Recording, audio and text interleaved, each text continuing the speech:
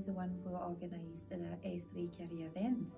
Um, so I was the one uh, who got in touch with SCILT uh, because last year we had someone who could come and participate in the event and then I um, contacted uh, several partners um, like HarperCollins, the British Council, the Goethe Institute, and then I put in place um, a morning event for S3 pupils. So they had some speakers first of all, and afterwards they went to four different workshops, and they ended up with a wee keynotes. Um, and then the second part of my involvement into the the award was to actually coordinate all the different events. So we decided to put through five events and uh, I was in touch with all the different teachers in the department and outside the department as well, asking them for evidence, uh, photos and um, everything. They had like feedback from the pupils and once I had all of that, I put all of that together and sent it to SCILT. I would say it was really easy and doable. Um, the career event, uh, first of all, is something I've been doing through like for the past five years. So I have to say I've got a wee bank of partners that um, I don't hesitate to contact when I need them and they are more than willing to come and help us.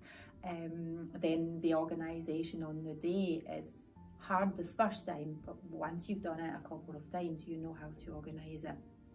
And then uh, organising all the events and coordinating all the events is actually something quite easy because it's what we do all the time. So it's just uh, uh, knowing in advance that we're going to do it and get a folder with everything put in it so um, I would certainly recommend it to people and um, they shouldn't be worried about giving them extra work but because if you are organized it definitely does not give you uh, more work. After the career event, we really noticed a change in the mind of the pupils and um, and even their involvement in class, they started to realize that we don't just learn a language for learning a language. There's a lot of different things around the language. And having seen um, the importance of the language in a different business, we also had a, a, professional footballer. So it attracted the boys. Um, so it did um, change their mind, the ideas of it, and it had a very good um, impact on our uptake in languages um, in French and Spanish and German. Um, so it was something really good. Um, we took some pupils as well with us when we got the award and, and from out of this pupil year it, showed them that schools is not languages sorry is not just at school it's outside. Um, so that had a very good impact on them. So if they are uh, the teacher organizing events, I would say like think about all the events you are organizing through the years and you will start realizing that things you do naturally can be presented for the award so it's not more work.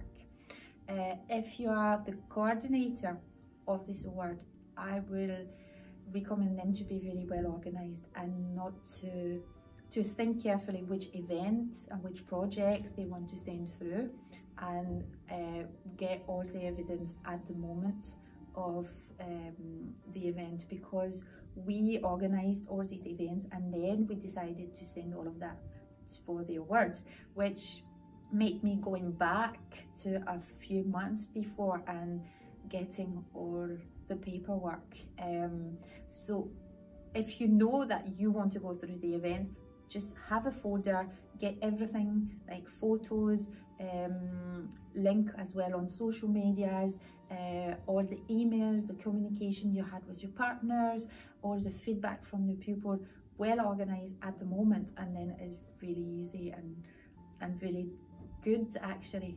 It also shows the rest of the school um, the importance of languages so I would recommend that for everyone.